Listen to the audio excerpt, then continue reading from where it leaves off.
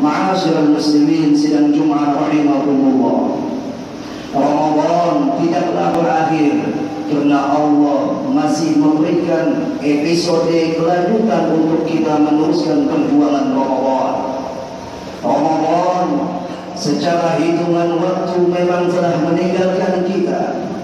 Tapi masjid masihlah terbuka untuk kita. Tapi ibadah tetaplah terus kita tingkatkan merujuk kepada makna syawal yang artinya adalah bulan peningkatan maka setelah Ramadan meninggalkan kita akan terlihat hasil daripada perjuangan kita di dalam bulan Ramadan.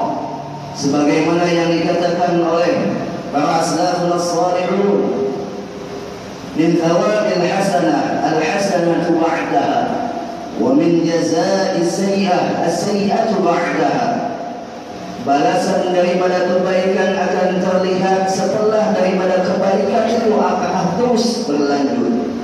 Dan balasan daripada kejelekan akan terlihat setelah daripada kejelekan itu apakah juga berlanjut. Maka pertanyaan kepada kita kebaikan Ramadan akankah masih terus di dalam kehidupan kita.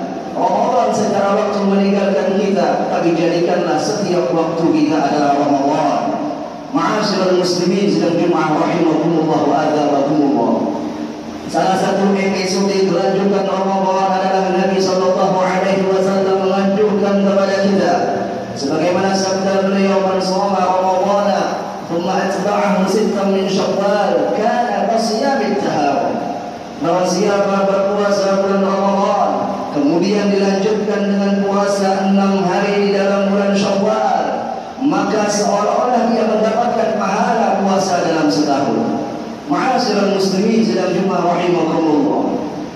Kalaulah setahun itu menjadi Ramadan menurut pahala yang diberikan oleh Allah melewati janji daripada baginda Rasulullah sallallahu alaihi wasallam maka rugilah bagi kita yang hanya menjadikan Ramadan setiap tahun sehingga tergambarlah kepada diri kita bukan menjadi hamba Allah tapi menjadi hamba Ramadan. Kalau kita mau menjadi hamba Allah, maka setelah Ramadan pun kita tak terus berjuang untuk melanjutkan